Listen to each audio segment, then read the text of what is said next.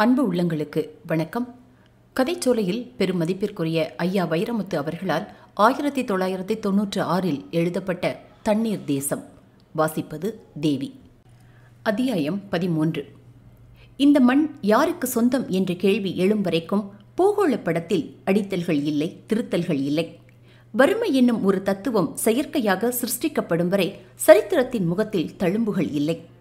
என்னுடையது என்னும் வலிமையும் இல்லாமை என்னும் வெறுமையும் வந்த பிறகுதான் மனித குலம் யுத்தங்களை சந்தித்தது.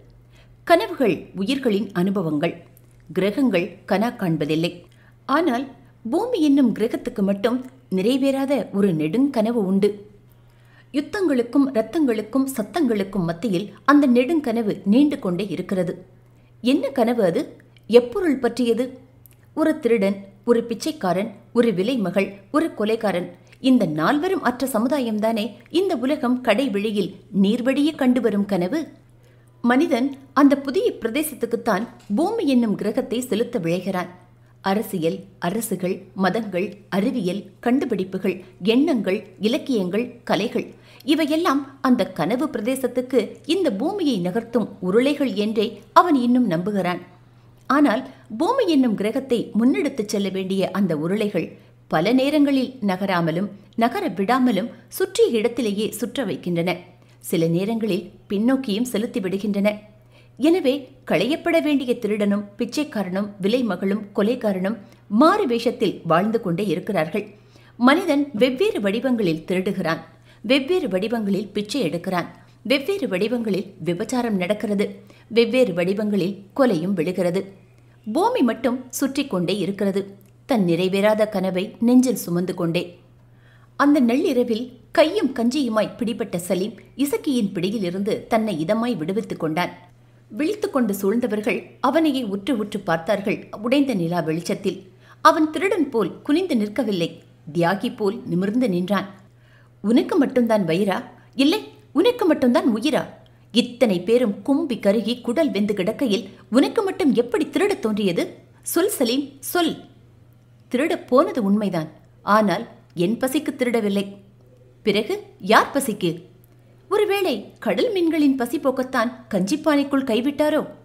இல்லை ஒரு ஏழை ஜீவனின் பசிக்கு. இப்போது இந்த படகில் உள்ள ஒவ்வொரு ஜீவனும் ஏழை ஜீவன்தான். நம் பசியை நமக்கு சொல்லத் தெரிகிறது. நான் திருடியது அதை சொல்லத் தெரியாத ஒரு ஜீவனுக்கு. சொல்லத் தெரியாத ஜீவன் என்றால் சுண்டலிக்கு. அவர்கள் ஒரே இடத்தில் சிரிக்க ஆரம்பித்து வெவ்வேறு இடத்தில் முடித்தார்கள். வெயிலடித்துக் கொண்டே மழை பெய்தது மாதிரி இன்பம் துக்கம் இரண்டும் இழையோடிய சிரிப்பு அது. இங்கே மனிதனுக்கே சோற்றை காணும். நீ சுண்டலிக்கு சோறு வைக்கிறாயோ? நம் தேவை பெரிது அதன் தேவை சிறிது. அது இருக்கட்டும் நீ சுண்டலிக்குத்தான் சோறு திருடப்போனா என்பது என்ன நிச்சயம்? சரியான கேள்வி சாட்சி கிடைக்காத கேள்வி. பட்டாசத்திரியில் முதன் முதலாய் தீ வைத்துவிட்டு அது வெடிக்கும் வரை பரபரக்கும் சிறுவனைப் போல அவன் பக்கத்தில் கேட்க ஆவலானார்கள் ஐந்து பேரும். சலீம் மோவாய் தடவி முகம் கவிழ்ந்தான். யோசித்தான் பற்றி கொண்ட தீக்குச்சிகளாய் பளிச்சென்று வெளிச்சம் காட்டின கண்கள். நான் சுண்டலியின் தினசரி சிநேகிதன். நானும் சுண்டலிக்கு சோறு வைக்கிறேன். நீங்களும் சோறு வையுங்கள். யார் வைத்த கவளத்தை சுண்டலி வந்து உண்டு செல்கிறது? பார்ப்போம். அதையும் பார்ப்போம். சத்திய சோதனை தொடங்கியது. ஒரு கவளம் சோறெடுத்து ஒவ்வொருவரும் வெவ்வேறு இடத்தில் வைத்தார்கள். சுண்டலி தன் தலைமறைவு வாழ்க்கையை விட்டு வெளியேறவில்லை. எல்லா முகங்களிலும் ஏமாற்றக் கோடுகள். சரி சரி இப்போது நீ சோறு வை. வைரங்களை எண்ணும் ஒரு வியாபாரியைப் போல் கவளத்தில் ஒரு பருக்கையும் சிதற விடாமல் சேர்த்தெடுத்து கடுகு புட்டியின் மூடிமேல் கவனமாய் வைத்தான் சலீம். அடுத்த நிமிடம் அந்த அதிசயம் நிகழ்ந்தது. கண்ணுக்கு தெரியாத ஒரு சந்து வழி வந்து ஒரு கிரீச் வணக்கம் சொல்லி கவளத்தில் வாய் வைத்தது சுண்டலி. உயிர் தெழுந்த இயேசுநாதரை பார்த்தவனைப் போல் வியந்து நின்றான் இசக்கி. அந்த துள்ளல் என்ன? அதன் மகிழ்ச்சி என்ன? ஒரு சிற்றுயிரின் ஜீவ ததும்பல் என்ன? கலைவண்ணன் காதில் தமிழ் ரோஜா முணுமுணுத்தாள். பசியாரும் ஒரு ஜீவனின் சந்தோஷம் பார்த்தாலே பசியாரிவிடம் போலிருக்கிறதே பாரதி மகாகவி உன் செல்ல அனுமதியோடு உன் கவிதையில் ஒரு சின்ன திருத்தம் அனுமதிப்பாயா? வயிற்றுக்கு சோறிட வேண்டும் இங்கு வாழும் மனிதருக்கெல்லாம் என்றாய் அந்த ஆறாம் சீரில் மட்டும் உனக்கு வருத்தம் வராமல் ஒரு திருத்தம் செய்வோமா? வயிற்றுக்கு சோறிட வேண்டும். இங்கு வாழும் உயிர்களுக்கெல்லாம். சம்மதமா? ஓரவெளி கசைந்தபடி ஒரு ஓரமாய் நின்றான் சலீம். எங்களை மன்னித்துவிடு சலீம். ஐவர் மொழியை ஒருவன் பேசினான். உறக்கம் துரத்தும் இரவுகள் உடம்பு எரிக்கும் பகல்கள் இரைப்பை சுருக்கும் பசி இதயம் அறுக்கும் வெறுமை மூன்று டம்ளர் கஞ்சி தண்ணீரில் ஆறு ஜீவன்கள் படகைப் போலவே ஒரே இடத்தில் நின்று போன வாழ்க்கை. நடக்கவும் சக்தி இல்லாமல் நலிந்து சாயத் தொடங்கிய உடல்கள். ஒரே ஒரு படகு கூட இந்த கடலில் வெள்ளைக்கோடு கிழிக்காதா? வங்காள விரிகுடாவில் கப்பல் போகக்கூடாதென்று கட்டளையா? ஒரு ஆறு பேரை காணோம் என்று தமிழ்நாட்டின் ஜனத்தொகை இன்னும் கவலைப்படவில்லையா? விடியாத இரவை பார்த்து சூரியன் செத்து விட்டான என்று தனிப்பாட்டில் ஒரு தமிழச்சி புலம்பினாளே. அப்படி அங்கே பூகம்பம் நேர்ந்து பூமி புரண்டு புதைந்து விட்டதா? ஒருவேளை சவப்பெட்டிக்கு வாங்கிய மரத்தில் இந்த படகு தயாரிக்கப்பட்டு விட்டதா? அழுத பிள்ளைக்குத்தான் பாலா அபயக்குரல் கொடுத்தால்தான் உதவியா? சரி கத்துவோம் என்று முடிவெடுத்தார்கள். பரதன் ஏறினான் பாய்மரத்தட்டில் ஐயா உதவிக்கு வருவீர்களா? படகு பழுது. ஐயா உதவிக்கு வருவீர்களா? படகு பழுது. மூன்றாம் முறை குரல் எடுக்க முடியவில்லை. தொண்டையின் கடைசி ஈரம் பற்றிவிட்டது. அடுத்து இசக்கி ஏறினான். ஒரு கரத்தால் காது பொத்தி ஓங்கி கத்தினான். அதற்கு மேல் அவனுக்கும் சக்தி இல்லை. வயிற்றை பிடித்துக்கொண்டு இறங்கிவிட்டான். சலீம் நீ போ. அவன் கத்தி கத்தி பார்த்தான். சத்தமே வரவில்லை. அவன் நாவிலிருந்த எச்சிலை கடற்காற்று குடித்துவிட்டு போய்விட்டது. அடுத்து பலங்கொண்ட மட்டும் பாண்டி கத்தினான். எந்த திசையிலும் எதிரொலி இல்லை. போங்கள் உயிருக்கு குரல் கொடுங்கள். தமிழ் கலைவண்ணனை அனுப்பினாள். கலைவண்ணனும் கத்தி பார்த்தான். அவன் குரல் காற்றில் குதித்து தற்கொலை செய்ததுதான் மிச்சம். தமிழ் நீ வா. வேண்டாம் தங்கை கத்த வேண்டாம் பாண்டி தடுத்தான். ஏன்? சேவல் கூவி விடியாத பொழுது குயில் கூவியா விடியப் போகிறது? தமிழ் சினந்தாள். இல்லை இது எனக்கு நீங்கள் காட்டும் சலுகை இல்லை அவமரியாதை நானும் கத்துவேன். தட்ட தடுமாறி ஏறினாள். பாய் மரத்தையும் வயிற்றையும் பிடித்து கொண்டு கத்தினாள். அந்த குரல் படகை கூட தாண்டவில்லை. கலைவண்ணன் அவளை கைத்தாங்கலாய் இறக்கினான். கத்திய களைப்பு வறண்ட தொண்டை அன்றைய பங்கை பிரித்துக் கொள்ள அவசரமானார்கள். கஞ்சிப்பானையில் கூடினார்கள். கஞ்சிப்பானை திறந்து கிடந்தது. ஏன்? எப்படி? சுண்டலிக்கு சோறு வைத்த பரபரப்பில் அதை மூடி வைப்பது மறந்துவிட்டது. உள்ளே பார்த்தால் அவர்களின் அமுதத்தில் இரண்டு கரப்பான் பூச்சிகள் இறந்து கிடந்தன. அது அவர்கள் வயிற்றில் விழுந்த கடைசி இடி. பீப்பாய் திறந்தார்கள். அவர்கள் தாகத்தின் கடைசி தவணை. ஆளுக்கு அரை டம்ளராய் ஆழத்தில் சிரித்தது. இரவு. எலி கடித்த ரொட்டியாய் வடிவிழந்த நிலா. நாலா திசையிலும் சிதறி கிடக்கும் நட்சத்திர பருக்கைகள். மீனவர் நால்வரும் தூங்கிப் போயினர். மீன்விழி மங்கை தூங்கவில்லை. உறங்கிவிட்டீர்களா? இல்லை. கண்கள் இமைத்துக் கொண்டிருக்கும் போது உறங்க முடியுமா? புரியவில்லை. என் கண்ணே நீதானே? நீ விழித்து கிடக்கையில் என்னால் எப்படி உறங்க முடியும்? நாளைக்கு மரணம் என்றாலும் இன்று வரைக்கும் கவிதை பேசுவீர்கள் போல் இருக்கிறதே. ஆமாம் மரணத்தை வரவேற்க கவிதைகள் வேண்டாமா? போதும் போதும். நாளை பொழுதாவது நம் பொழுதாக விடியுமா? நாளை பொழுது நம் பொழுதோ இல்லையோ? ஆனால் உன் பொழுது. என் பொழுதா? ஆமாம் விடிந்தால் உன் பிறந்த நாள். அப்படியா? என்று ஆச்சரியம் காட்டியவள் நான் தேதி பார்ப்பதை நிறுத்திவிட்டேன் என்றாள். ஏன்?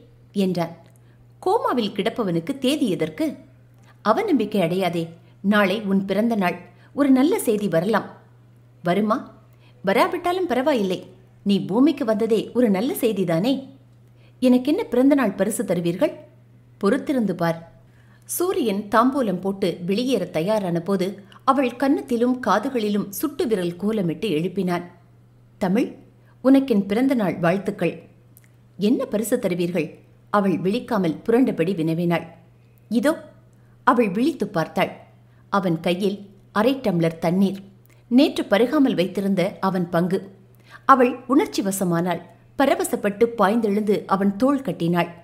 அந்த வேகத்தில் தவறி விழுந்து டம்ளர் உருண்டது தண்ணீர் சிதறியது. அத்தியாயம் பதினான்கு. அது ஒன்பதாம் நாள். இதய துடிப்பு குறையத் தொடங்கும் இரண்டாம் வாரம். தண்ணீர் குறைய குறைய உயிர் தாமரை உலரும் காலம். ஒரு மனிதன் தண்ணீர் இல்லாமல் ஈரப்பதம் இல்லாத பாலைவனத்தில் இரண்டு நாள் இருக்கலாம். ஈரப்பதமுள்ள கடலில் ஏழு நாள் வரை பொறுக்கலாம். ஆனால் அது ஒன்பதாம் நாள். காலக்கெடு முடிந்து விட்டது எச்சில் சுரப்பி வறண்டு விட்டது. தார் சாலையில் அசைவற்று கிடக்கும் செத்த பிராணியாய் உள் அன்னத்தில் ஒட்டிக்கொண்டது நாக்கு. சூரியன் வந்து வந்து போனால் என்ன? விடியல் மட்டும் வரவே இல்லையே. இன்னும் சொல்லப்போனால் இரவு கூட கொஞ்சம் இதமாயிருக்கிறது. விடிந்தால்தான் பயமாயிருக்கிறது. சாரமற்ற இந்த வாழ்க்கையை சகிப்பதெப்படி? கடற்காற்றின் ஒரே மாதிரியான ஓசை. காது மடலடியில் படியும் உப்பு பிசுபிசுப்பு கொஞ்சம் கொஞ்சமாய் இடை இழக்கும் உடல்கள். உடம்பின் ஏதோ ஒரு துவாரத்தின் வெளியே உயிர் பகுதி பகுதியாய் வெளியேறுவதாய் ஒரு பயம். மோகனமாய் தொடங்கி முகாரியாய் நிறம் மாறிய தளக் தளக் அலைச்சத்தம் நரகத்தை உருவகித்தவன் அது கடலுக்கு மத்தியில்தான் கட்டப்பட்டிருக்கிறது என்று ஏன் கற்பனை செய்யவில்லை? இதுதான் நரகம். இதுதான் மரணத்தின் முன்னோட்டம். இந்த நிமிஷத்தின் முதல் தேவை தண்ணீர்தான்.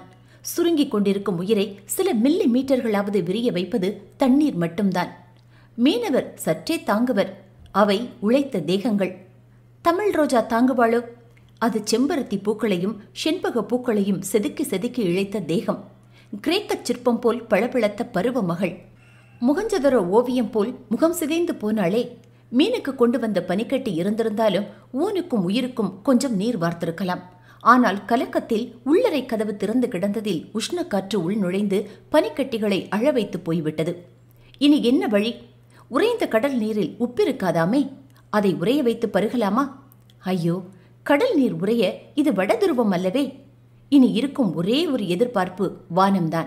இருக்கும் ஒரே ஒரு நம்பிக்கை ஓரிடத்தில் குவிந்ததை அள்ளி ஊருக்கு பகிர்ந்தளிக்கும் காம்ரேஜ் மேகம்தான். ஏ திட்டு திட்டாய் மிதக்கும் மேகங்களே நீங்களும் நாங்களும் ஒரே ஜாதிதான். ஆமாம் இருவருமே விட்டு புறப்பட்டு விலாசம் தப்பியவர்கள். கொள்ளை கொள்ளையாய் மிதக்கும் வெள்ளை மேகங்களே எங்களுக்காக கொஞ்சம் கருப்பாகுங்களே. மழை துளிகளை உண்டு வாழுமாமே சாதக பட்சிகள். நாங்களும் இப்போது சாதக பட்சிகளே. இந்த சாதக பட்சிகளின் ஜாதகம் இப்போது உன் கையில் மழையே உன் கையில். ஓராண்டுக்கு எண்பத்தாறு சென்டிமீட்டர் உலகத்துக்காக ஒழுகும் மழையே எங்கள் மீது ஒரே ஒரு மில்லி மீட்டர் உதிர்க்கக்கூடாதா திருடிய பொருளை திருப்பித் தர மறுக்கும் ஒரு திருடனைப் போல உயரத்தில் ஏறிக்கொண்டு ஏன் எங்கள் உயிர் குறைக்கிறாய்? கொஞ்சம் அவிழ்த்து விடு. உன் வைரப்பை சிந்தட்டும் முத்துக்கள் எங்கள் முகத்தில் தெரிக்கட்டும். மாட்டாயா? காட்டில் நிலாவும் கடலில் மழையும் விரயமா? ஏன்? காட்டில் நிலவடித்தால் என்ன? விலங்குகளும் பறவைகளும் நிலாவின் எதிரிகளா? பூக்களுக்கு நிலவின் புலகம் பிடிக்காதா?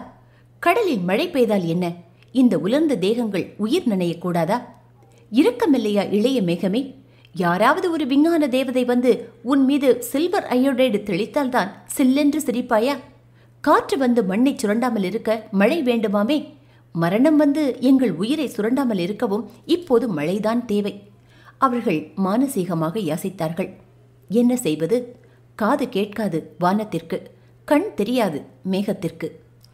கடல் அமைதியாகத்தான் இருந்தது. கரையில் ஒரு புயல் அடித்தது. அந்த புயலின் பெயர் அகத்தியர் தமிழ் ரோஜாவின் தந்தை. தன் எதிர்கால செலவு பட்டியலை எண்ணி கிடந்த போதுதான் தமிழ் ரோஜா அவர் ஞாபகங்களில் மின்னி மறைந்தாள். ஓ என்னவானாள் என் மகள்? வாரத்தில் ஒரு நாள் மட்டும் சலவை சட்டை அணிந்து கொள்ளும் ஒரு பழைய தமிழ் வாத்தியாரைப் போல அந்த வாரத்தில் அன்றுதான் மகளை நினைத்தார் அகத்தியர். அது ஒன்றும் அதிசயமில்லை. முன்பெல்லாம் அவர் அனுமதியோடு இருவரும் விடை கொள்வார்கள்.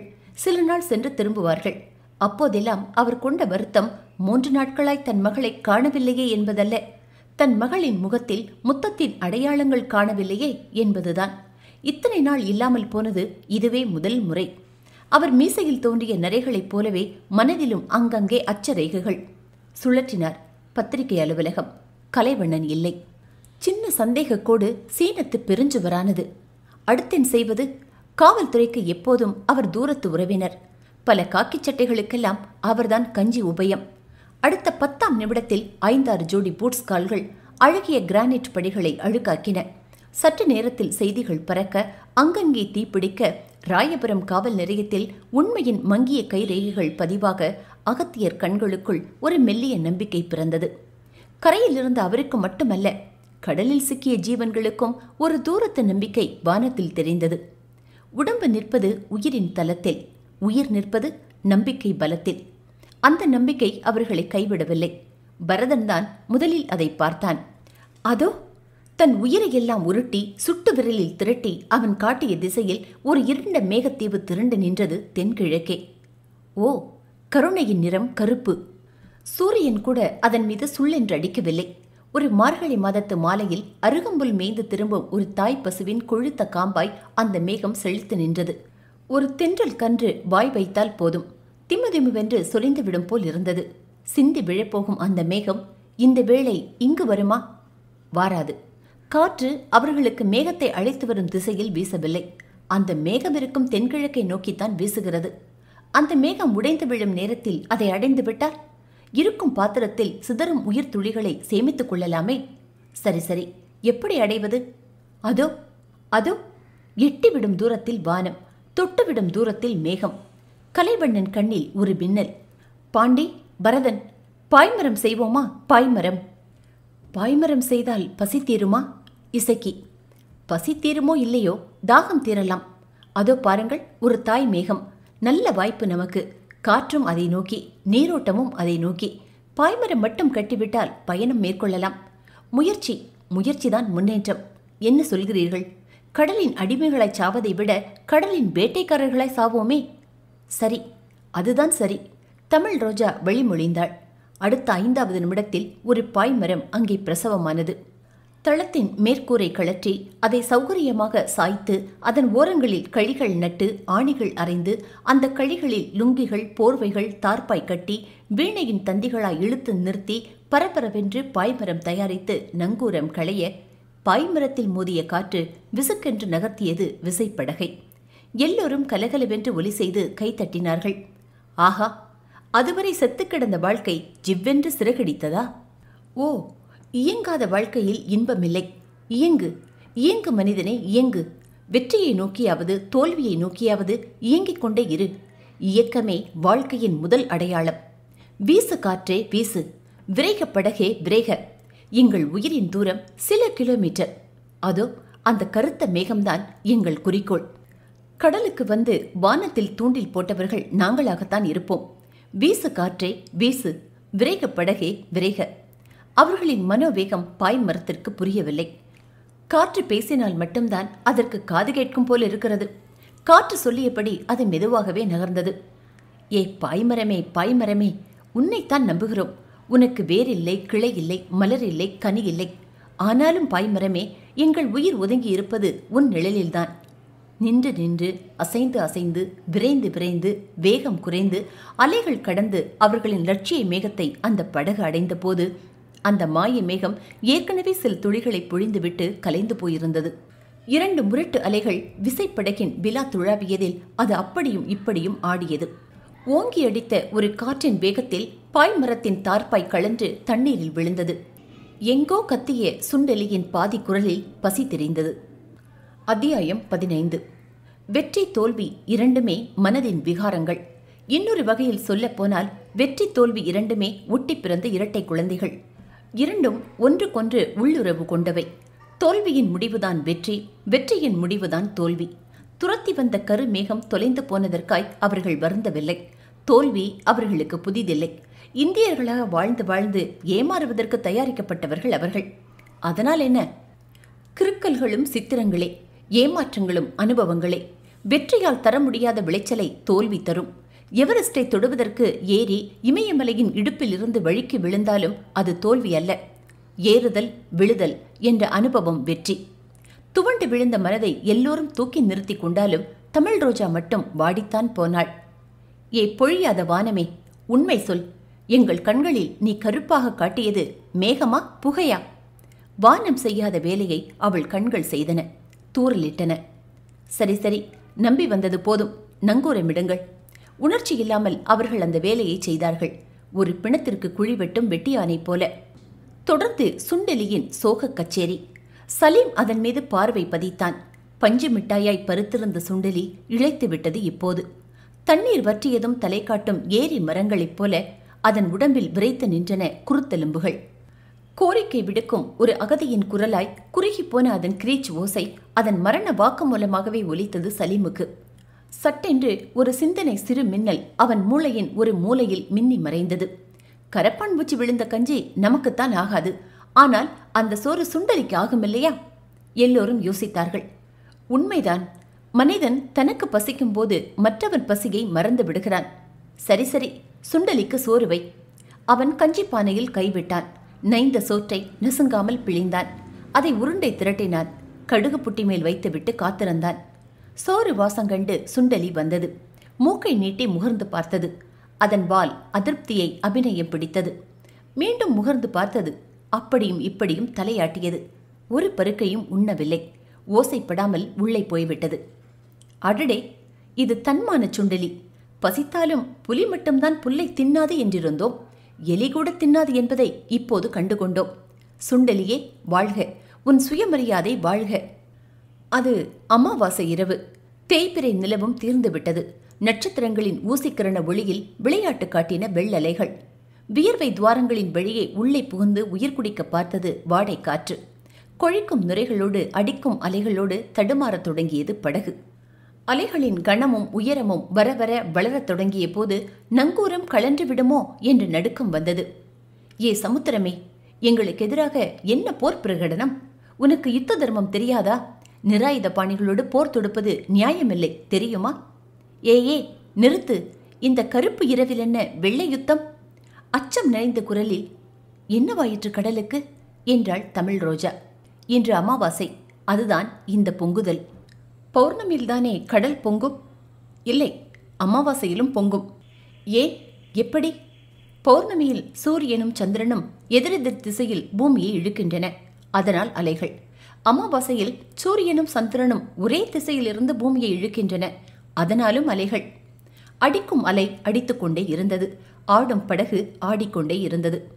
எங்கள் வானத்தில் உலகத்தின் இருளை எல்லாம் ஊற்றிவிட்டு போனது யார்? எங்கள் நிலாவை திருடிக்கொண்டு நட்சத்திரங்களின் கண்களை குருடாக்கிவிட்டது யார்? கயிறில்லாத ஊஞ்சலான இந்த படகில் உயிரில்லாத உருவங்களை ஊசலாட்டுவது யார்? கலக்கம் மயக்கம் குழப்பம். நள்ளிரவுக்கு பிறகு அலைகள் மெல்ல மெல்ல குறையத் தொடங்கிய போது நம்பிக்கை உள்ளவர்கள் உறங்கிப் போனார்கள். நம்பிக்கையற்றவர்கள் விழித்தே கிடந்தார்கள். மேக கிழிசல் வெளியே சில நட்சத்திரங்கள் மட்டும் இவர்கள் படகை வேடிக்கை பார்த்து கொண்டிருந்த வேளையிலே பனைமர உயரத்திற்கு பளிச்சென்று கடல் தீப்பற்றியது பாதி தூக்கத்தில் இருந்த சலீம்தான் அதை முதலில் பார்த்தான். அவன் உயிரே உறைந்து விட்டது. உலர்ந்த நாக்கில் வார்த்தை ஒட்டிக்கொண்டது பேய் பேய் கடல் பேய் என்று அலறிக்கொண்டே பரதனையும் பாண்டியையும் ஓங்கி அடித்து உசுப்பினான். அவர்கள் எழுவதற்குள் அச்சங்காட்டிய அக்கினி பேய் அணைந்து விட்டது. எங்கே? எங்கே? என்ன உளறுகிறாய்? அதோ அங்கேதான். பேய் நெருப்பு பேய். அதோ அதோ. மீண்டும் அந்த பனைமர உயர நெருப்பு பயங்காட்டியது எழுந்து வளர்ந்து வளைந்து நீண்டு நெகிழ்ந்து அகன்று அக்கினி வாய்த்திருந்து மீண்டும் அணைந்தது. இப்போது பாண்டிக்கும் பரதனுக்கும் கூட பயம் என்ற தொற்று நோய் பரவிவிட்டது. மொத்த படகும் விழித்து கொண்டது மூன்று பேரின் தத்தளிப்பில். பேய் பேய் கடல் பேய்! தண்ணீரில் மூழ்கிப் போன பேய் மீண்டும் தலை காட்டியது. நெருப்பாய் பளபளப்பாய் சுடரொழுகும் ஜொலிப்பாய் ஆடியது அக்கினி பேய். கடலுக்கு மேலே கணல் பற்றியது போல. ஆ ஐயோ ஐயையோ! அலறியபடி கலைவண்ணனின் உடம்பில் உயிர் போல ஒட்டிக் கொண்டாள் தமிழ் ரோஜா. வாடை காற்றிலும் வியர்த்து நின்றார்கள் சலீமும் பரதனும். அவர்களின் கலக்கம் கண்டு குழப்பம் கொண்ட கலைவண்ணன் அந்த பேயின் மீது ஒரு தூர பார்வை வீசி துப்பறிந்தான். சலீமின் இருதயம் மரண வேகத்தில் துடித்தது. ஐயோ நம் மண்டையோடு கூட கரை சேராதா? கலைவண்ணன் உண்மை கண்டு தெளிந்தான். ஒரு பொய் சத்தம் போட்டு அவர்களின் அச்சம் அடக்கினான். அஞ்சாதீர்கள் அது பேயின் விஸ்வரூபம் அல்ல அக்கினியும் அல்ல பூச்சிகளின் உயர ஊர்வலம். எப்படி சற்றே பெருமூச்சு விட்டவர்கள் அந்த ஒரே வார்த்தையை ஐந்து நாவுகளால் உச்சரித்தார்கள். அவை கடல் மேல் மிதக்கும் மெல்லிய வெளிச்சப் பூச்சிகள். பெயர் நாட்டிலூக்கா கோப்பை அளவு தண்ணீரில் கோடான கோடி எண்ணிக்கை கொண்டவை. அலைகளுக்கு உற்சாகம் வருகிற போது இந்த பூச்சிகளுக்கும் ஆவேசம் வந்துவிடும். அலையோடு பயணம் கொண்டு மெர்க்குரி விளக்குகளாய் மின்னும். தொட்டால் சுடுவதில்லை பற்றினால் எரிவதில்லை. போலி நெருப்பு பூச்சிகள் போய் உறங்குங்கள். அவ்வளவுதான். படகை பிடித்திருந்த பிசாசு இறந்து விட்டது நிம்மதி நிம்மதி. கரை கடந்த புயலாய் மனங்கடந்தது பயம். அறிவே உனக்கு வணக்கம். நீதான் மனித ஜாதியின் அச்சம் களைந்தாய். நீதான் பூமியின் இருட்டுக்கு புதுப்பகல் கொண்டு வந்தாய். இடியும் மழையும் புயலும் இயற்கையின் கோபங்கள் என்றிருந்தபோது அவை சீதோஷணத்தின் சிலிர்ப்புகள் சிரிப்புகள் என்ற செய்தி அறிவித்தாய். அறியாமையே அச்சம் அறிவே பலம். காரணம் கண்டறியாதவரை ஆன்மீகம். காரணம் கண்டறிந்தால் விஞ்ஞானம். காரணங்கள் கண்டறிவோம். நன்றி அறிவே நன்றி. விடியாதை இரவே விடியாதே. எங்கள் துயரத்திற்கு இரவாவது திரை போடுகிறது. நீ ஏன் வெளிச்சம் போடுகிறாய்? எங்கள் நாவுகளில் வாடை காற்று பூசிய ஈரத்தை சூரியனை நீ வந்து சுண்ட வைக்கப் போகிறாயா? தகிக்கும் பகலே உன்னை தவிர்க்க முடியாதா? இந்த கடலில் எங்கள் சம்மதத்துடன் தானா எல்லாம் நடக்கிறது? விடிந்து தொலை இரவே விடிந்து தொலை. இதோ பாருங்கள் என் கைப்பையில் ஒரே ஒரு சாக்லேட். துளாவிய போது ஆழத்தில் அகப்பட்டது. மீட்சிக்கு ஒரு படகு வந்தது போல் துள்ளி குதித்தாள் தமிழ் ரோஜா. கண்ணாடித்தாள் சுற்றப்பட்டிருந்த அந்த சின்ன சாக்லேட் செத்துப்போய் சில நாட்கள் இருக்கும். ஆனாலும் அது ஒவ்வொரு நாவிலும் மிச்சமிருந்த எச்சிலை ஊற வைத்தது. சரி சரி பங்கிடுங்கள். ஆறு பங்கு. இல்லை இல்லை ஏழு பங்கு. மன்னிக்க வேண்டும். மறந்துவிட்டேன் சுண்டலியை. ஆறு பங்காய் போடுவது எளிது. ஏழு பங்காய் போடுவது கடிது. சரி சரி ஆறு பங்காகவே போடுங்கள். என் பங்கை சுண்டலிக்கு கொடுத்து விடுகிறேன் என்றான் சலீம் சாக்லேட் பிளக்கப்பட்டது. இந்தியா பாகிஸ்தான் பிரிவினையை விட அது கவனமாகவே கையாளப்பட்டது. அவரவர் துண்டு அவரவர் கைக்கு வந்ததும் உயிருக்கு அது ஓர் அமிர்த சொட்டு என்றே அறியப்பட்டது. சலீமை காணும். தன் பங்கோடு அவன் சுண்டலி தேடி ஓடினான். கடுகு புட்டியின் மூடியில் வைத்தான். காணவில்லை சுண்டலியை. வாய் குவித்து ஒலி செய்தான். வரவில்லை. சின்ன சின்ன சந்துகளில் கண்களை போட்டான். சுண்டலியின் அடையாளம் தோன்றவில்லை. சுக்கான் அறையை ஒட்டி கவலையோடு நடந்தபோது அவன் கால்களில் ஏதோ பிசுக்கிட்டது. தீயை மிதித்தவன் போல பிசுக்கென்று காலெடுத்தான். குனிந்து பார்த்தான். சுண்டலியின் உரிக்கப்பட்ட தோலும் துண்டிக்கப்பட்ட தலையும் தனித்தனியே கிடந்தன. அவ்வளவுதான். தன் உயிரையெல்லாம் குரல் வளையில் திரட்டி எவனடா? எவனடா என் சுண்டலியை கொன்றவன்? என்று கண்ணீர் தெறிக்க கதறினான் சலீம். சில வினாடிகள் அங்கே மரண மௌனம் நிலவியது. அந்த மௌனம் கிழித்து இசக்கி மெல்ல எழுந்து வந்தான். நான் கொன்றேன். நான் தான் தின்றேன். பசி. உயிர் போகும் பசி. என்னை என்ன செய்ய சொல்கிறாய்? அவன் மார்பில் ஓங்கி குத்தி சட்டை பிடித்து உலுக்கி கண்ணீர் விட்டு கதறியபடி அட பாவி நீ என்னை தின்றிருக்கலாமே? என்றான் சலீம் அதற்கு இன்னும் ஒரு வாரம் இருக்கிறது என்றான் இசக்கி. அத்தியாயம் பதினாறு. ஒரு மனிதன் எத்தனை நாடுகள் கடந்தான் எத்தனை கடல்கள் கடைந்தான் எத்தனை பேரை கொன்றான் எத்தனை மகுடம் கொண்டான் எத்தனை காலம் இருந்தான் எத்தனை பிள்ளைகள் ஈன்றான் என்பவை அல்ல அவன் எச்சங்கள். இவையெல்லாம் நான் என்கிற ஆணவத்தின் நீளங்கள். அவன் இன்னொரு உயிருக்காக எத்தனை முறை அழுதான் என்பதுதான் அவன் மனிதன் என்பதற்கான மாறாத சாட்சி. சலீம் அழுதான். அது சுய சோகத்திற்காக சொட்டிய கண்ணீர் அன்று சுண்டலியின் மரணத்திற்காக சிந்தப்பட்ட சுத்த கண்ணீர். காணவும் தூங்கவும் மட்டுமே கண்கள் என்று பல பேர் தப்பாக கருதி கொண்டிருக்கிறார்கள். இல்லை கண்ணீருக்கும் சேர்த்துதான் கண்கள். பார்த்தல் என்பது கண்களின் வேலை. கண்ணீர் என்பதே கண்களின் தியானம். இதயம் கொதித்து ஆவியாகும் போது இமைகளின் மூடி திறந்து கொள்கிறதே அதுதான் கண்ணீர். ஒருவன் தனக்காக அழும் கண்ணீர் அவனை மட்டுமே சுத்திகரிக்கிறது. அடுத்த உயிருக்காக அழும் கண்ணீர் அகிலத்தையே சுத்திகரிக்கிறது. அழாதே சலீம் அழாதே. இசக்கியின் தவறுக்காக நான் மன்னிப்பு கேட்கிறேன். கலைவண்டன் சலீமின் கரங்கள் பற்றி கெஞ்சினான். அவன் நிறுத்தவில்லை. அவன் கண்களிலிருந்து அருந்து போகாத அருவி வடிந்து கொண்டே இருந்தது. இவன் எவ்வளவு மெல்லியவன்? அணுச்சப்போ மனசு கொண்டவன். பிள்ளை மாதிரி வளர்த்தேனே பிடித்து தின்று விட்டானே என்று இழுத்து கூட்டி அழுதான். விடு சலீம் ஒரு சுண்டலிக்காக இவ்வளவு சோகப்படுகிறாயே? பாண்டியின் சொற்களில் அலட்சியம் சொட்டியது. சொல்லாதே அதை வெறும் சுண்டலி என்று சொல்லாதே. இந்த படகின் ஏழாவது ஜீவன் என்று சொல். உருவங்கள் மாறலாம். ஆனால் உனக்கும் எனக்கும் அதற்கும் உயிர் ஒன்றுதான். நம் ஆறு பேரில் யாராவது ஒருவர் செத்திருந்தால் நீ அழாமல் இருப்பாயா? அப்படித்தான் அதுவும். அவன் வாக்கிலிருந்த தர்க்கம் அவர்களை வாயடைத்து விட்டது. அவன் அழுகை நிற்கவில்லை. தண்ணீர் குடிக்காத தேகத்தில் எப்படித்தான் அவ்வளவு கண்ணீர் இருந்ததோ? பாண்டியும் பரதனும் அவனை தங்கள் மார்பில் சாய்த்துக் கொண்டு வேர்வை பிசுக்கில் சிக்கலாகிப் போன அவன் கேசத்தில் சிக்கெடுத்தார்கள். அந்த ஸ்பரிசம் அவனுக்கு தேவைப்பட்டது. இசைக்கு மட்டும் பேசவே இல்லை. அவன் தன்னை துண்டித்து தனியானான். ஆடும் படகின் விளிம்பில் அசையாது உட்கார்ந்து பிரம்மை பிடித்தவன் போல் கடல் பார்த்தான். தன்னை தாங்கிய மார்புகளுக்கு மத்தியில் அழுது கொண்டே இருந்தான் சலீம். ஒரு முரட்டு கூட்டத்தில் இப்படி ஒரு இதயமா? தன் தாகம் பசி இரண்டையும் மறந்து வியந்தாள் தமிழ் ரோஜா. உரிக்கப்பட்ட சுண்டலியின் தோலை மட்டும் சலீமால் தூக்கி எறிய முடியவில்லை. தான் வருவதற்கு முன்பே அடக்கம் செய்யப்பட்டுவிட்ட தாயின் பழைய புடவையை தொட்டு பார்க்கும் ஒரு பாசமுள்ள மகனைப் போல சுண்டலியின் தோலை அவன் தடவிக் கொண்டிருந்தான். கைகளில் ஒட்டிய ரத்தம் பார்த்து திடீரென்று ஆவேசமானான். டேய் மனிதனாடா? நீ மனிதனா? என்று கண்கள் பிதங்க கத்தி இசக்கியை நோக்கி முன்னேறினான். இழுத்து கொண்டோடியவனின் வயிற்றில் கை வைத்து வளைத்து நிறுத்தினான் கலைவண்ணன். அவனை தழுவி தடவி சாந்தம் செய்தான். இதோ பார் சலீம் சுண்டலியை கொன்றது பாவம்தான். உன் உணர்ச்சி நியாயம்தான். ஆனாலும் உனக்கொன்று சொல்வேன். இதை உன் உள்ளத்தில் எழுதிக்கொள். எது நியாயம் எது பாவம் என்று தீர்மானிப்பவன் மனிதன் அல்லன் இடமும் காலமும் தான். தாகத்தில் சாகப் போகும் பாலைவன பயணிகள் தங்கள் ஒட்டகத்தையே கொன்று அதன் உள்ளிருக்கும் நீரை அருந்துவார்களாம். அங்கே ஒட்டக வதை என்பது பாவம் அல்ல பாலைவன நியாயம். பசி உடம்பை தின்னத் தொடங்கும் பஞ்ச நாட்களில் எறும்பு புற்றை இடித்து அதன் மாரிக்கால சேமிப்பான தானியம் எடுத்து சுவைப்பார்களாம் அங்கே அது திருட்டு அல்ல அது பசியின் நியாயம். உணவு கிட்டாத காலத்தில் உயிர்காக்க நினைக்கும் இருளர்கள் களிமண் தின்பார்களாம். அங்கே மண் தின்பது என்பது பாவம் அல்ல பழக்க நியாயம்.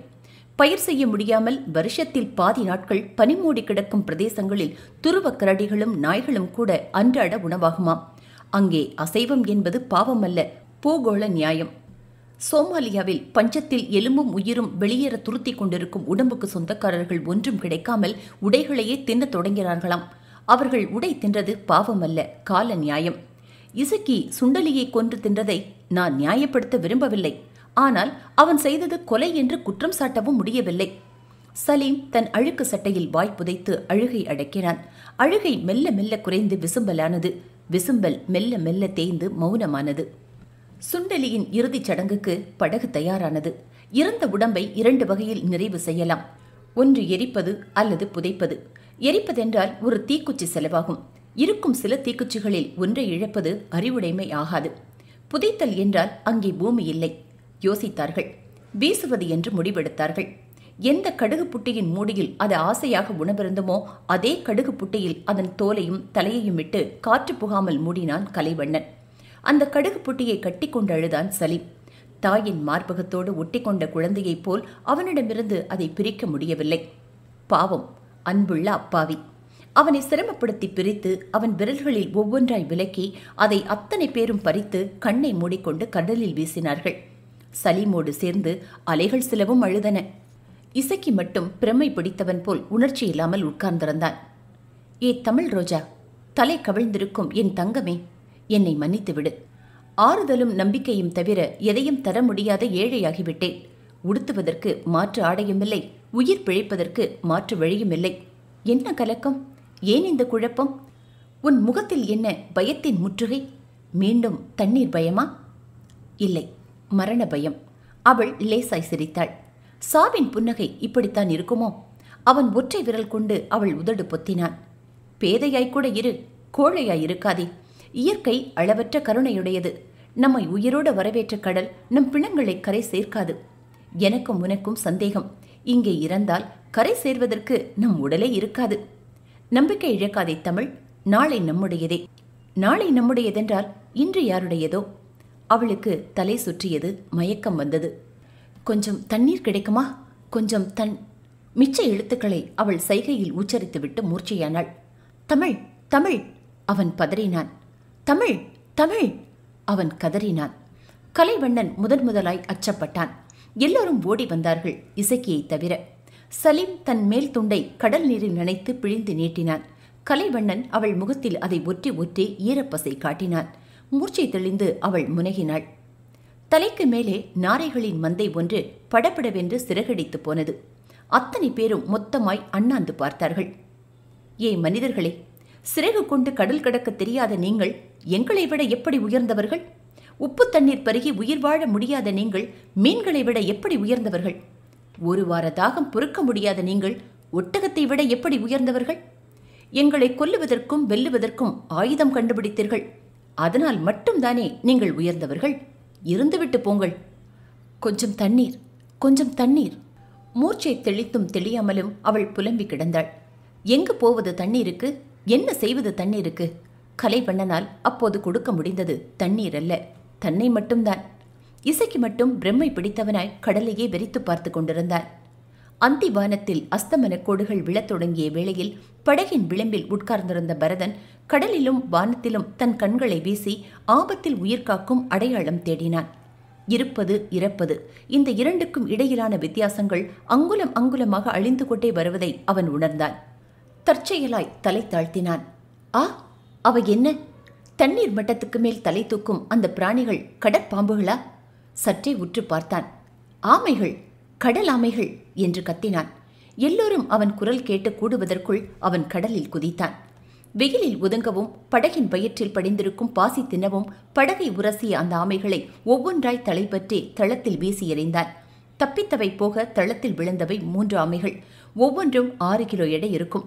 தலையும் காலும் வாலும் தவிர ஓட்டுக்கு வெளியே ஒன்றும் தெரியவில்லை. ஆஹா ஆஹா ஆமைகள். நீண்ட நாட்களுக்கு பிறகு இப்போதுதான் படகில் பசிக்குரல் மறைந்து உயிர்க்குரல் கேட்டது. கடலில் கிடந்த பரதன் தாவி குதித்து மேலே வந்தான். சமையற்கட்டு சென்றான். கத்தியும் சட்டியும் கொண்டு வந்தான். ஆமைகளை நெருங்கினான். பார்த்து கையை கடித்துவிடப் போகிறது ஆமை. அட போடா ஆமைக்கு பல்லில்லை என்பது எனக்கு தெரியாதா? வெள்ளையாய் தெரிந்தது அடிவயிறு. அதன் இதய பகுதியில் கத்தி வைத்தான். குத்தினான் அழுத்தினான் கீறினான் கிழித்தான். முதலில் கசிய ஆரம்பித்த கருஞ்சிவப்பு ரத்தம் குபுகுபுவென கொட்டத் தொடங்கியது. ஆமையின் தலை துடிப்பதை அவனால் தாங்க முடியவில்லை. அதை விட்டு எறிந்தான். அப்படியே தூக்கி பிடித்து கவிழ்த்து அதன் இரத்தத்தை சட்டியில் கொட்டினான். அவ்வாறே மற்ற ஆமைகளையும் பிளந்து ரத்தம் எடுக்க நிரம்பி விட்டது பாதி சட்டி. பரதன் உற்சாகத்தில் கத்தினான். இப்போது இது இரத்தமல்ல சிவப்பு தண்ணீர். குடியுங்கள். எல்லோரும் குடியுங்கள். அதுவரை இறந்து கிடந்த டம்ளர்களுக்கெல்லாம் உடனே உயிர் வந்தது. சட்டியில் விட்டு ஆளுக்குரு டம்ளர் ஆமை ரத்தம் அவசரமாய் மொண்டான். இந்தா பாண்டி இது உனக்கு. இந்தா சலீம் இது உனக்கு. இதோ பேனாக்காரரே இது உங்களுக்கு. தூரத்தில் பிரம்மை பிடித்து பேசாதிருந்தான் இசக்கி. இந்தா இசக்கி இது உனக்கு. அதுவரை திரும்பாதிருந்த இசக்கி திரும்பினான்.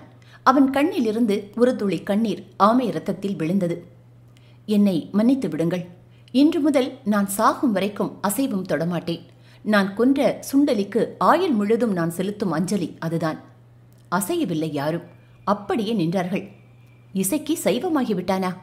வேங்கைக்கு வெற்றிலை மட்டும் போதுமா? இது என்ன புது அதிர்ச்சி? அவர்கள் எதிர்பாராத திசையிலிருந்து இன்னொரு அதிர்ச்சியும் வந்தது. எனக்கும் கொடுங்கள் ஒரு டம்ளர் ஆமை ரத்தம் திகைத்து திரும்பினார்கள். கேட்டவள் தமிழ் ரோஜா. அத்தியாயம் பதினேழு. இந்த பிரபஞ்சத்தில் எதுவும் நேரலாம் இன்று காண்பது நாளை மாறலாம். மாற்றமே பரிணாமம். மாறுதல் ஒன்றுதான் உலகில் மாறாதிருப்பது. இந்த கிரகத் தொகுதியும் கட்சி மாறலாம். வியாழனை முட்டி துளைத்த வால் நட்சத்திரத்தால் அங்கே தண்ணீரும் உயிர்களும் உற்பத்தியாகலாம். என்றேனும் ஒரு நாள் இந்த பூமி என்னும் கிரகம் இடிகொண்ட முட்டையாய் சிதறுண்டு போக இங்கிருந்து தப்பிக்க வசதி கொண்ட மனிதர்கள் வியாழன் கிரகத்தில் வீடு வாங்கலாம். இதுவரைக்கும் பூமிக்கு வெயில் தந்த பழைய சூரியனை புறந்தள்ளிவிட்டு இன்னொரு சூரிய குடும்பத்துக்கு ஜீவராசிகள் இடம் பெயரலாம். நிகழும் வரைக்கும் தான் ஒன்று அதிசயம். நிகழ்ந்த பிறகு அது சம்மதம். தொப்புள் கொடி அறுத்தது முதல் அசைவ கலாச்சாரத்திலேயே வளர்ந்த இசக்கி அன்று முதல் தன்னை சைவன் என்று பிரகடனப்படுத்திக் கொண்டதும் எறும்பு செத்து மிதக்கும் பாலை கூட அசைவம் என்று ஒதுக்கிய தமிழ் ரோஜா அன்று ஆமை ரத்தம் பருக கேட்டதும் பழகியவர்களுக்கு அதிர்ச்சியை தவிர பண்பாட்டுக்கு அதிர்ச்சி அல்ல. மனிதன் இயற்கையின் குழந்தை. அவனது உணவை உடையை உரையுளை ஏற்படுத்தி கொடுப்பதும் இயற்கைதான். மதுரையில் சட்டை இல்லாத உழவனை பார்த்து இனி சட்டை அணிவதில்லை என்று வடநாட்டு உழவன் சபதம் செய்தால் அது சரியான சிந்தனை என்று கருத முடியாது. இந்த வெயில் பூமியில் சட்டை இல்லாமல் இருப்பது ஒரு உழவனின் சௌகரியம். வடநாட்டு குளிரில் ஒரு உழவன் சட்டையும் தலைப்பாகையும் அணிந்தே ஆக வேண்டும். அது அவன் தேவை. எனவே சட்டை அணிவது அணியாதிருப்பது என்பதை வானிலை தீர்மானிக்கிறது. மனிதனின் ஆணைகள் மீறுவதற்காகவே பிறப்பிக்கப்படுகின்றன. இயற்கையின் ஆணைகள் தேவைக்காகவே படைக்கப்படுகின்றன. ஆமை ரத்தம் சைவமா அசைவமா என்று வாதாடுவதற்கான வாய்ப்பை தமிழ் ரோஜாவின் தாகம் அவளுக்கு தரவில்லை. அவளை பொறுத்தவரை அப்போது அவளுக்கு அது திட திரவம். குடித்தாள். குடித்துவிட்டு பால் குடித்த குழந்தை போல் இதழ் கடை துடைத்தாள். அடுத்தொரு கேள்வியும் அவளே கேட்டாள். அந்த ஆமைக்கறியை சமைக்க முடியுமா? மீனவர் நிமிர்ந்தனர். அதை பச்சையாகவே சாப்பிடுவது என்று அவர்கள் நெஞ்சுக்குள் நிறைவேற்றிக் கொண்ட மௌன தீர்மானம் சற்றே ஒத்தி வைக்கப்பட்டது இதை சமைக்கத்தான் வேண்டுமா? பச்சையாய் உண்டாலும் அடிவயிற்றில் எரியும் அக்கினியில் இது வெந்து போகாதா? நெருப்பு என்பது அந்த நிமிடத்தில் அவர்களுக்கு ஆடம்பரம். அவர்களின் அந்த நேரத்து அகராதியில் சமைத்தல் என்ற சொல்லுக்கு நேரே கால விரயம் அல்லது படாடோபம் என்று பொருள் போட்டிருந்தது. ஆனாலும் ஒரு சைவ பெண்ணின் அசைவ தேவைக்காக அவர்கள் சமைக்க ஆயத்தமானார்கள். மூன்று வருடம் கடந்து மழை பெய்த ஒரு திருநாளில் தன் பழைய கலைப்பையை தேடுகிற ஒரு ஏழை விவசாயியைப் போல அவர்கள் திசைக்குருவராய் பறந்து தீப்பெட்டி தேடினார்கள். ஒரு குடியானவன் வீட்டு உண்டியலின் கடைசி காசைப் போல அது ஏதோ ஒரு ஆழத்தில் அகப்பட்டது. அது சற்றே ஈரம் பூத்திருந்தது. உள்ளே ரஷ்ய படையெடுப்பில் தோற்று திரும்பிய நெப்போலியனின் படை வீரர்களைப் போல எண்ணிக்கையில் குறைவாகவே இருந்தன தீக்குச்சிகள். பற்ற வைக்க முயன்றான் பாண்டி. முதலாம் தீக்குச்சி உடைந்தது. இரண்டாம் தீக்குச்சி பட்டையில் ஒரு பாதி கிழித்து தானும் தேய்ந்தது. மூன்றாம் தீக்குச்சி சற்றே பற்றி சட்டென்று அணைந்தது. நான்காம் தீக்குச்சி பற்றியது ஏமாற்றாமல் எரிந்தது. அடுப்பும் முகங்களும் ஒரே நேரத்தில் ஒளி கொண்டன தண்ணீர் இல்லாததால் அதன் ரத்தம் ஊற்றப்பட்டு அவசரமாய் சமைக்கப்பட்டது ஆமைக்கறி. தட்டைந்து நிற்கவோ பங்கிட்டுக் கொள்ளவோ பொறுமையின்றி ஆளுக்கொரு துண்டாய் அவர்கள் அவசரமாய் உண்ட பிறகுதான் தெரிந்தது வெந்திருப்பது கறி அல்ல அவர்களின் நாக்குகள் என்று. அவர்களின் உடம்பின் ஆழத்தில் வற்றி வண்டலாகிப் போன உயிர் ஒவ்வொரு சொட்டாய் ஊறத் தொடங்கியது. கரை. மீனவர் சங்கம் மிதந்தது சத்தத்தில். காணவில்லை என் மகனை. கண்டுபிடிக்க மாட்டீர்களா? அந்த கோடையிலும் நடுங்கியது ஒரு மூதாட்டியின் குரல். காணவில்லை என் கணவனை. செத்தாரா இருக்கிறாரா? செய்தி சொல்ல மாட்டீர்களா? இது ஒரு கைக்குழந்தைக்காரியின் கதறல். பதறாதீர்கள். ஒன்றுமாகாது அவர்கள் உயிர்களுக்கு. இன்றைக்கே தேட ஏற்பாடு செய்வோம். எப்படியும் கிடைப்பார்கள். ஒரு பிசிறில்லாத ஆண் குரல் பேசியது. அவனுக்கு மட்டும் ஏதாவதானால் நான் கடலாத்தா மடையில் விழுந்துதான் செத்துப் போவேன். தரையில் செத்தால் எனக்கு கொள்ளி வைக்கத்தான் வேறு பிள்ளை இல்லையே. பாவம் கிழவியின் பிள்ளை கண்களில் ஏழை கண்ணீர். நேற்று சொன்னேனே அது நிஜமாகிவிட்டது தமிழ். என்ன சொன்னீர்கள்? இயற்கை அளவற்ற கருணையுடையது என்றேன். இயற்கை தன் கருணையை ஆமை வடிவில் அனுப்பி வைத்ததா இல்லையா? ஒரு பட்ட மரத்தில் புறப்படும் முதல் தளிரைப் போல எனக்குள் புதிய நம்பிக்கை பூத்திருக்கிறது. பூமியை பற்றிக்கொள்ளும் வேர்களைப் போல நீ நம்பிக்கையை பற்றிக்கொள். ஒரு பறவை உன் தலைக்கு மேலே பறப்பதை உன்னால் தடுக்க முடியாது. ஆனால் அது உன் தலையில் கூடு கட்டாமல் உன்னால் தடுக்க முடியும். அவள் பாதி உதட்டில் புன்னகைத்தாள். அதில் தேவையான சதவிகிதம் சிருங்காரம் இருந்தது. அதுவரைக்கும் பசியில் உலர்ந்து கிடந்த காதல் சின்னதாய் சிலிர்த்து சிறகு விரித்தது. அவன் நெருங்கி வந்தான். பட்டாம்பூச்சி பிடிக்கும் சிறுவனைப் போல அசையாமல் அவளையே பார்த்தான். சட்டென்று குனிந்தான். அவள் அசைவ உதடுகளில் அவசரமாய் முத்தமிட்டான். உதடுகளின் ஒப்பந்தம் சில நிமிடங்கள் நீடித்தது. கடைசியில் பார்த்தால் கரித்தது முத்தம். அவனுக்கு தெரியாமல் அவளும் அவளுக்கு தெரியாமல் அவனும் அழுத துளிகள் பரஸ்பரம் உதடுகளில் பரிமாறப்பட்டிருந்தன. ஆனந்த கண்ணீர் மட்டும் இனிக்குமா என்ன? மேகமற்ற ராத்திரி. மெல்லிய பிறை. ஒற்றை உதட்டால் சிரித்தது மேற்கு வானத்தில். கலங்காதிரு பிறையே உனக்குள்தான் பூர்ணச்சந்திரன் புதைந்திருக்கிறான். மகாகவி இக்பாலின் இந்த கவிதை சலீமுக்கு தெரியாது. தெரிந்திருந்தால் பிறையை அவன் முழுமையாய் ரசித்திருப்பான். வயிற்றுக்குள் ஆமையை நிரப்பிக் கொண்ட ஆனந்த கழிப்பில் ஒரு மயக்க போதை போன்ற பாதி உறக்கத்தில் தளத்தில் அவர்கள் சுதந்திரமாய் சிதறி உருண்டும் நெளிந்தும் புரண்டும் கொண்டிருந்த பொழுதில் தூரத்தில் தெரிந்தது ஒரு ஒளி ஊர்வலம். தன் உள்ளங்கைகளால் கண்களை உறக்க தேய்த்து கொண்டு மீண்டும் மீண்டும் பார்த்தான் பாண்டி. தன்னை மறந்து கத்தினான். கப்பல் கப்பல். தீப்பிடித்த வீடாய் அந்த ஒரே சத்தத்தில் விழித்து கொண்டது படகு. கப்பல்தான் அது கப்பல்தான். மென்மையாய் மிதந்து போகும் ஒரு வெளிச்சத் தீவு. அதோ அவர்களை உரசாமல் போகிறது அவர்களின் ஒளிமயமான எதிர்காலம். எப்படி அதை எட்டுவது?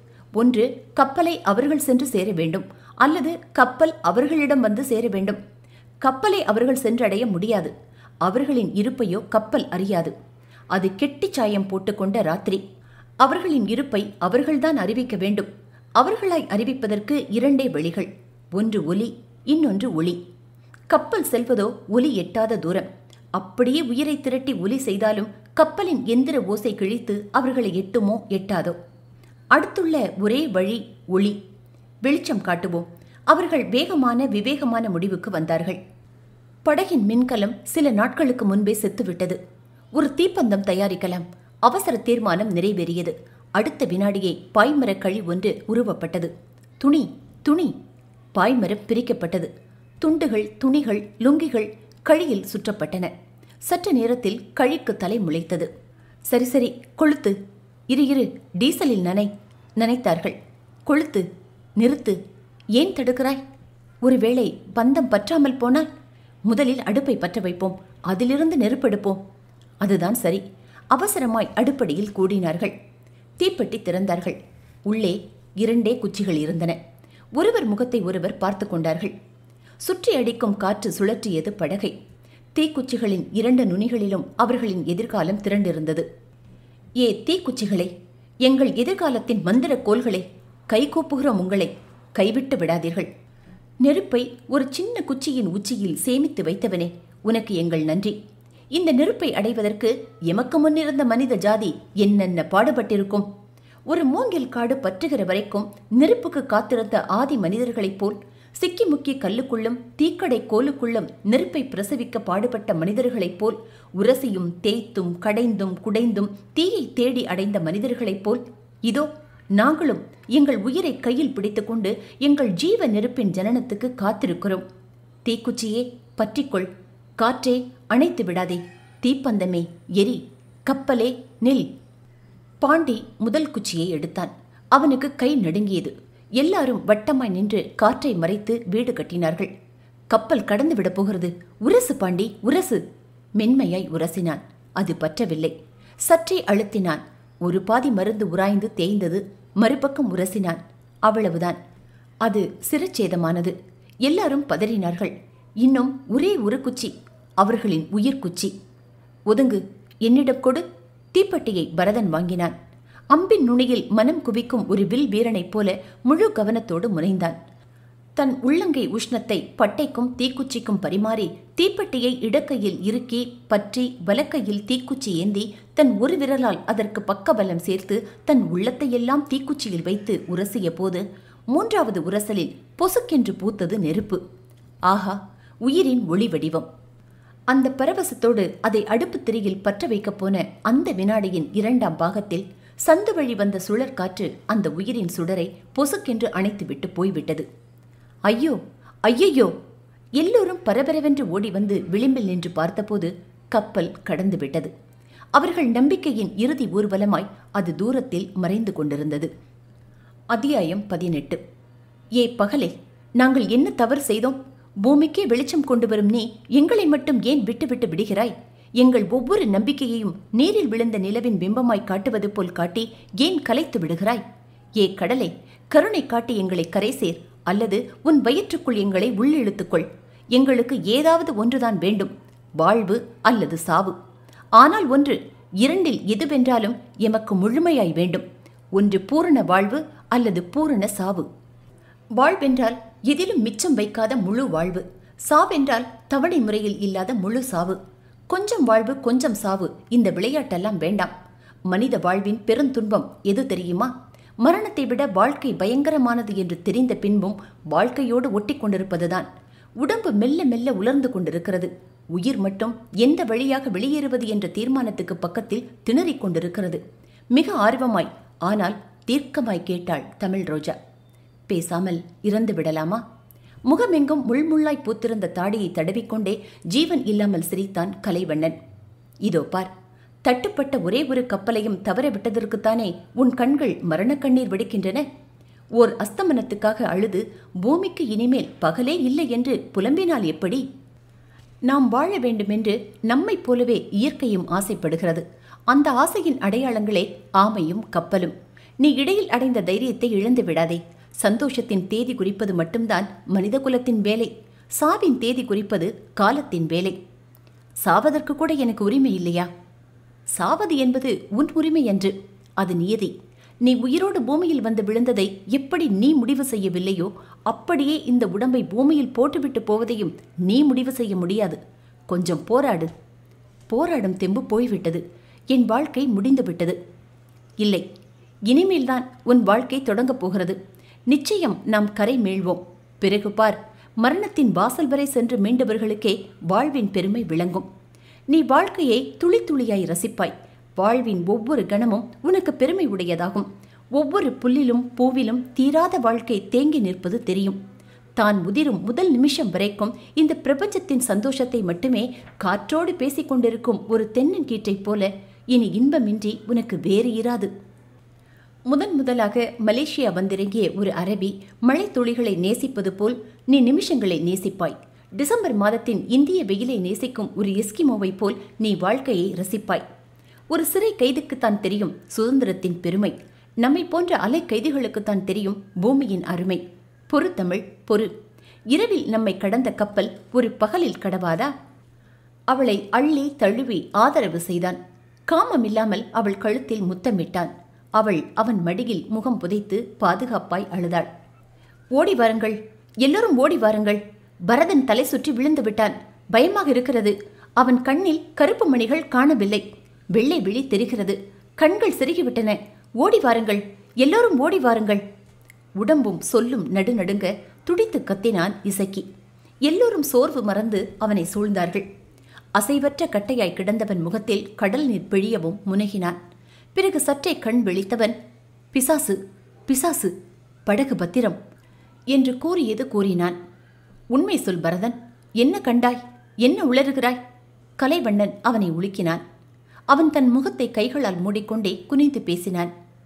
நேற்றிரவு நீங்கள் எல்லாம் தூங்கிவிட்டீர்கள். நான் தூங்கவில்லை. நள்ளிரவுக்கு மேல் யாரோ படகை உள்ளே பிடித்து இழுப்பதாய் தோன்றியது. படகு விட்டு விட்டு இழுக்கப்பட்டது. படகு முழுக்க இழுக்கப்பட்டு நாம் மூழ்கி போவோம் என்றே நினைத்தேன். சந்தேகமே இல்லை. அது கடல் பிசாசுதான். கரையில் கதை கதையாய் சொல்வார்கள். முத்தாண்டி கிழவனும் அவன் பேரனும் அப்படித்தான் இறந்து போனார்கள். இரவெல்லாம் பயத்தில் என்னால் பேச முடியவில்லை. கடல் பிசாசு நம்மை கரையேற விடாது பேனாக்காரரே. அவன் மெல்ல நடுங்கினான். குலுங்கி அழுதது குன்று. கண்ணீர் அருவிகள் சிந்தின. கலைவண்ணன் அவன் கைகளை வாரி தன் தோள்களில் இட்டுக்கொண்டான் ஒவ்வொரு விரலாய் சுடுக்கெடுத்துக்கொண்டே சொன்னான். பயம் வேண்டாம் பரதன். இப்படி கடல் பிசாசு கண்டு கலங்கும் பயம் உங்களுக்கு மட்டுமல்ல. உலகம் முழுவதும் இருக்கிறது. சற்றே செவி கொடுங்கள் ஒரு சரித்திரம் சொல்கிறேன். அட்லாண்டிக் சமுத்திரத்தில் பெர்முடாஸ் முக்கோணம் என்றொரு மர்ம முக்கோணம் இருக்கிறது. அதற்குள் நுழைந்த கப்பல்கள் காணாமல் போயின. காணாமல் போன கப்பல்களை தேடப்போன விமானங்கள் அந்த எல்லைக்குள் நுழைந்தவுடன் வெடித்துச் சிதறின. அறுபத்தி இரண்டு கப்பல்களும் பதினெட்டு விமானங்களும் இரண்டாயிரம் மனிதர்களும் அதற்குள் தொலைந்து போனதாய் சொன்னார்கள். தப்பி பிழைத்த ஒரு விமானி சொன்னார். விமானத்தை ஏதோ ஒரு சக்தி இழுத்தது. விமானமே வேலை நிறுத்தம் செய்தது. சற்று நேரத்தில் வெடித்து விட்டது. பெர்முடாஸ் முக்கோணத்துக்கு மேலே பல மைல் தூரத்துக்கு பரவி இருக்கும் காந்த சக்திதான் அதற்கு காரணம் என்ற ஒரு கற்பனை முடிவுக்கு வந்தவர்கள் அதற்குள் பிளாஸ்டிக் படகுகளை செலுத்தினார்கள். பிளாஸ்டிக் படகுகளையும் பெர்முடாஸ் சிதறு தேங்காய் போட்டது.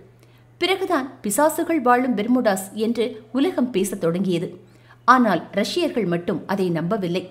ஆயிரத்தி தொள்ளாயிரத்தி எண்பத்தி இரண்டில் விட்யாஸ் என்ற கப்பலில் புறப்பட்டு முக்கோண எல்லைக்கு சற்றே தூரத்தில் நிறுத்தி துப்பறிந்தார்கள். கொஞ்சம் முன்னேறமும் கப்பலில் இருந்தவர்களுக்கு கை கால் விளங்கவில்லை. புயலின் சின்னம் எதுவும் இல்லாமலே புயல் வீசுவதாய் கருவி காட்டியது. அதன் பிறகுதான் உண்மை அறியப்பட்டது. பெர்முடாஸ் ராட்சச நீர்ச்சுழிகள் உண்டாக்கி நிரந்தரமாய் சுழல்கின்றன. அதன் மேல் அசுர சூறாவளி ஒன்று அமைதியாய் வீசிக்கொண்டிருக்கிறது. அதுவே கப்பல்களும் விமானங்களும் கவிழ காரணம். இந்த விஞ்ஞான நெருப்பு வீசப்பட்டவுடன் அதுவரை நம்பப்பட்டு வந்த பிசாசு இறந்துவிட்டது. அதே போலத்தான் இதுவும். கடல் நீரின் ஏற்றவற்றத்தில் படகு அமிழலாம் எழும்பலாம். அது பிசாசு அல்ல பரதன் பேசாமலிரு மனப்பேய்களையும் மனித பேய்களையும் தவிர பிரபஞ்சத்தில் வேறு பேய்கள் இல்லை. எழுந்திரு பரதன் எழுந்திரு. தூங்கும் மூஞ்சி மரத்தின் இலைகள் அதிகாலையில் மெல்ல மெல்ல விரிவது போல் பரதன் மெல்ல மெல்ல பயம் தெளிந்தான். அவனுக்கு முன்னால் அவன் நம்பிக்கை எழுந்து கொண்டது. இந்த காது மடல் இருக்கிறதே அது உடம்பின் ஒரு உணர்ச்சிமயமான பிரதேசம். மெல்லிய குருத்தெலும்புகளாலான மென்மையான பாகம். அந்த காலத்தில் பல ஜமீன்தார்களுக்கு காது மடல்களை யாராவது வருடி கொடுத்தால்தான் தூக்கம் வருமாம். பாலியல் பொழுதுகளிலும் அதற்கொரு மன்மத பங்கு உண்டு. இமைகள் என்னும் மூடி கண்களுக்கு உண்டு. இதழ்கள் என்னும் மூடி வாய்க்குண்டு. மூக்கையும் கூட கைகளின் உதவியின்றியே மூடிக்கொள்ள முடியும். உடம்பின் பிற வாசல்களும் அப்படித்தான். ஆனால் இந்த உடம்பில் காதுகளுக்கு மட்டும்தான் கதவுகள் இல்லை. காதுகளை மட்டும்தான் முயற்சி இல்லாமல் மூட முடியாது. கண்களையும் வாயையும் காதுகளையும் தனித்தனியே பொத்திக் கொண்டிருக்கும் குரங்கு சிலைகள் மூன்று தேவையில்லை. கண்களை இமைகளாலும் வாயை உதடுகளாலும் சுயமாக மூடிக்கொண்டு காதுகளை மட்டும் கைகளால் பொத்திக் கொள்ளும் ஒரே ஒரு குரங்கு சிலை போதும். தொழிலாளிகளுக்கு காதமடல் என்பது சேமிப்பு வங்கி. பீடி பென்சில் காது குடையும் குச்சி இவற்றை காது மடல்களில் வைத்துக் கொள்வது அவர்களுக்கு வசதி. இசக்கியின் காது மடலில் தற்செயலாய் பார்வை ஓட்டிய சலீம் அண்ணே அது என்ன? என்று ஆச்சரியம் காட்டினான். அதில் ஒரே குச்சி. காது குடைய வைத்திருந்த தீக்குச்சி காணப்பட்டது. எப்போதோ எடுத்து வைத்த அந்த தீக்குச்சியும் அதன் நுனியில் மறந்திருப்பதும் அவனுக்கு மறந்து போயிருந்தது. அதை பாய்ந்து சென்று பறித்து பரவசத்தில் கூத்தாடினான் சலீம். தீக்குச்சி தீக்குச்சி என்று கத்தினான். வேர்வை சொட்டுகளில் நனைந்திருந்த அந்த தீக்குச்சியை அந்தி வெயிலில் காய வைத்தார்கள். அதில் மட்டும் தீப்பந்தம் பற்றி கொண்டால் ஒரு தீர்வு கிடைக்கும் என்று நம்பினார்கள். ஒரு தாய் தன் குழந்தைக்கு மைத்தீட்டும் கவனத்தோடும் ஒரு காதலன் தன் காதலிக்கு முதல் கடிதம் எழுதும் ஆர்வத்தோடும் அவர்கள் அதை பத்திரமாக பற்ற வைக்க பற்றி கொண்டது தீப்பந்தம். ஆஹா ஆஹா இது நம்பிக்கை சுடர் வாழ்வின் ஜுவாலை. இதை அணையவிடக்கூடாது இதை அணையவிட்டால் நம் உயிர் தீயை அணையவிட்டோம் என்று அர்த்தம். நெருப்பு ஓர் அபூர்வமாகவும் அதிசயமாகவும் இருந்த ஆதிகாலத்தில் பழைய எகிப்திலும் கிரேக்கத்திலும் ரோமிலும் ஊருக்கு மத்தியில் ஒரே ஒரு இடத்தில் எப்போதும் நெருப்பு எரிந்து கொண்டே இருக்குமாம். எவர் தேவைக்கும் எடுத்துச் செல்லலாமாம்? அவர்கள் அதை அணைய விட்டதில்லையாம் அப்படித்தான் இதுவும். பொது நெருப்பு அணையாமல் காப்போம். அனைவரும் காப்போம். இரவு வானமங்கை தன் அடர்த்தியான கூந்தலை பூமியில் அவிழ்த்து விட்டாள் நட்சத்திரங்களை காணவில்லை. ஆனால் அவர்கள் நம்பிக்கையைப் போலவே பிறையும் சில மில்லி மீட்டர் வளர்ந்திருந்தது. அங்கங்கே கனத்த மேகங்கள் வானத்தை மறைத்திருந்தன. ஏ காலமே எமக்கு கருணை காட்டு. நேற்று எங்கள் கையில் தீப்பந்தமில்லை. எங்கள் பாதையில் ஒரு கப்பல் கடக்க விட்டாய் இன்று எங்கள் கையில் தீப்பந்தம் இருக்கிறது. தயவு செய்து இன்னொரு கப்பலை கடக்க விடு இரவு முழுவதும் தீப்பந்தத்தை ஒருவரை ஒருவர் மாற்றி மாற்றி உயர்த்தி பிடிப்பதாய் முடிவானது. பாண்டியன் கையிலிருந்து பரதனுக்கும் பரதன் கையிலிருந்து இசக்கிக்கும் வந்த தீப்பந்தம் நள்ளிரவுக்கு பிறகு சலீம் கைக்கு இடம் பெயர்ந்தது அவன் உறக்கத்தை உதறிவிட்டு தீப்பந்தத்தை உயர்த்தி பிடித்தான். மற்றவர்கள் உறங்கிவிட்டார்கள் நள்ளிரவு கடந்தபோது அந்த அதிசயம் நிகழ்ந்தது. ஒரு கஞ்சனின் பையிலிருந்து அவனுக்கு தெரியாமல் விழுந்துவிட்ட வெள்ளி காசை போல மேகத்திலிருந்து அவிழ்ந்து விழுந்தது ஒரு துளி. பிறகு ஒன்றிரண்டு மூன்றென்று துளிகளின் எண்ணிக்கை தொடர்ந்தது. மழை மழை என்று கத்தினான் சலீம். எல்லோரும் அலறியடித்து எழுந்தோடி வரவும் வானம் கிழிந்து கொண்டது. கொட்டோ கொட்டென்று கொட்டத் தொடங்கியது. ஆனந்தம் அதிர்ச்சி பரவசம் பதற்றம் அவர்களுக்கு ஒன்றுமே தோன்றவில்லை. படபடவென்று ஆளுக்கு ஒரு பாத்திரம் எடுத்தார்கள் பிடித்தார்கள். பீப்பாய் கொண்டு வந்து தளத்தில் வைத்தார்கள். மழை மழை விட்டுவிடக்கூடாது இந்த மழையை. எடுங்கள் தார்ப்பாயை. நான்கு முனையை நான்கு பேர் ஏந்துங்கள். சற்றே தார்ப்பாயை தளரவிட்டு குழி செய்யுங்கள். தார்ப்பாயில் நிரம்பட்டும் தண்ணீர். அப்படியே செய்தார்கள். அதுவும் வழிந்தது ஒதுங்காதே தமிழ். வா வெளியே வா. கொட்டும் மழையில் முழுக்க முழுக்க நனைந்து விடு. உன் ஆடைகளை நனைத்து தண்ணீரை சேமி. பிறகு பிழிந்து கொள்ளலாம். அவளும் அப்படியே செய்தாள். அவர்கள் குதித்தார்கள் குளித்தார்கள் கைத்தட்டினார்கள் கத்தினார்கள். மழை நின்றபோது ஏறத்தாழ அவர்களின் எல்லா பாத்திரங்களும் நிரம்பியிருந்தன. ஆனால் அவசரத்தில் சலீம் ஒரு ஓரத்தில் சாய்த்து நிறுத்திய தீப்பந்தம் மட்டும் மழையில் அணைந்து கிடந்தது. லைக் பண்ணுங்க ஷேர் பண்ணுங்க. கதைச்சோலை சேனலை சப்ஸ்கிரைப் பண்ணுங்க. நன்றி.